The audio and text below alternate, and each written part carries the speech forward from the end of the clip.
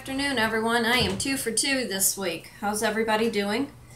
Um, I am in my kitchen today, going between the kitchen and the back room, and I'm doing a little bit of sewing, um, getting the side gig going to the side hustle. If you can see behind me, one of the shirts that is in my KM Designs line, um, I'm creating a graphic t-shirt line along with some baby items and a few totes and I'm going to be working on some pet coats. Um, I wanted to come on and I wanted to do this video on seasons and blessings. Uh, the things that come into your life at the right time when you don't expect it, the things that you pray for that you're not getting, there's a reason. There is a reason why why you are not getting what you are praying for. And for all of you who do not know who I am, I am Kitryn Marie. I am a writer, I am an artist, I am a speaker, I'm a photographer, um, and I am a life and a business coach. I show people how they can have a more meaningful life. I show people how they can step outside of who they are to become who they are supposed to be. We have God given gifts and talents.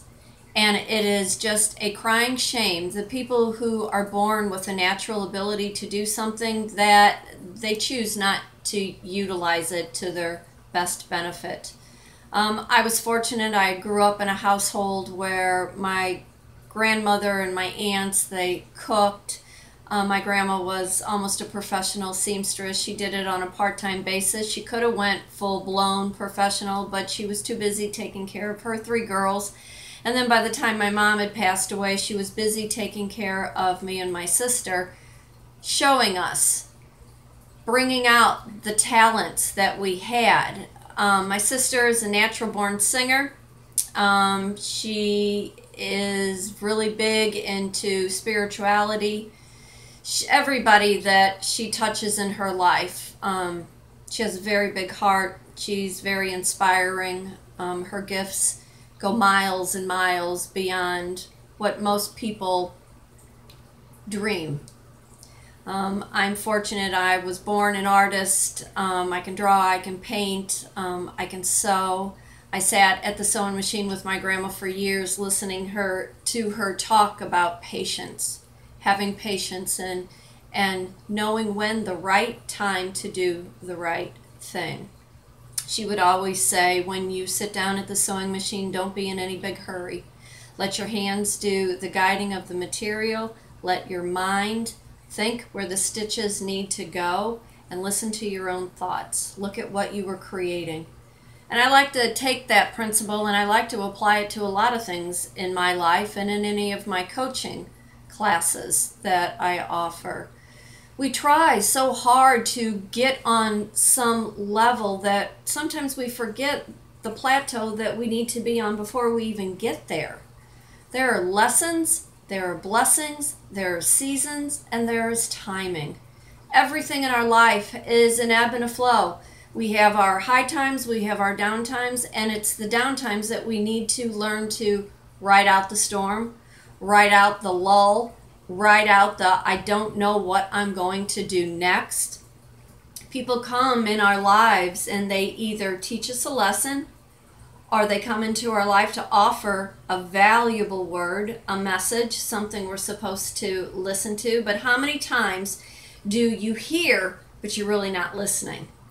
You hear all those words that the person is saying, and most of us are like, yeah, okay, sure, whatever. But the smart person who really, really listens takes those words and internally puts them in their heart and their soul. And they decide what they're going to do with that valuable lesson, what that valuable message means to them. I like to tell all my women, you know, that you have gifts. You have these wonderful attributes that you are choosing not to use one, because you have hid behind your kids. Two, you've let some man run your life. Three, you're scared to death. What are you afraid of? You get one go around, you get one life. Who cares if anybody doesn't like you or nobody doesn't get you? You have a talent. Why are you not using it? Why are you not doing the side gig to the side hustle while you're still trying to go off and work and make a paycheck? If anybody knows about that, it is me. My hand is still in food and beverage because I like it. That is what I was taught from way back. It's like being in the mafia. You never get out. Once you have your, your hand in something because you know how to do it, you stay there because that's where your bread and butter is. But when you have a talent and you have a gift and you have something to offer to somebody else, you still go with the flow and you still try to offer your service to somebody else. I like to tell my women too you know what? Even if you don't know what direction you want to go in, doing something, anything, is better than not doing anything at all. I love to sew. I love to sell my art. I love to teach my painting classes. I love to speak. I like having an audience, informing them the story and the journey that I've had to go through. You know, my mom died at the age of 31. Um, she was a victim of domestic abuse, and I loved my dad. Do not think that I did not. I loved my dad. He was a product of a poor alcoholic family. He learned traits from what he saw, and at that time, we lived in a time where what went on behind a closed door went on.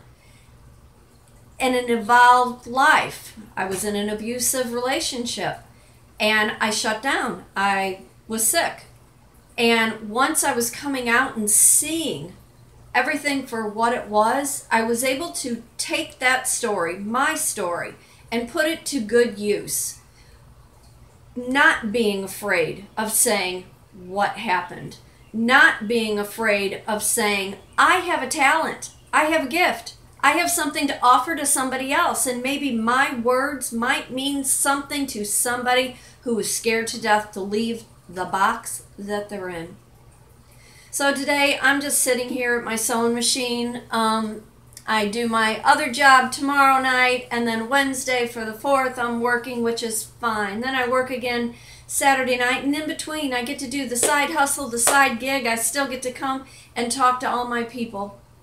I'm offering life coaching classes, business coaching classes. Let me show you how you can take that God given talent and do something with it. I offer painting lessons where we talk about perspective and how color affects all of our life. I teach you about shapes and how we can look at things in a negative and in a positive and in the shadow and in the light. And it's two hours of informed creative fun. I teach law of attraction classes where I show you how you can bring all the good things into your life if you believe that those things can come to your life. So, again, for those of you who don't know who I am, I am Kitryn Marie. I am an artist, I am a writer, I am a photographer, I am a speaker, I'm a life and a business coach. Feel free to reach out, send me an email at kitrynmarie at gmail.com. You can see all my work at kitryn-marie.weebly.com. Go over to Imperfections Made Beautiful blogspot to see all of my case studies. I hope you are enjoying this day on July 2nd. It is a little steamy here in St. Louis, but that's okay. It is summertime. Don't blink. Uh, six months, it'll be Christmas, and we'll all be complaining about the cold weather. So enjoy your day. Be happy. Be blessed. Seasons and timing.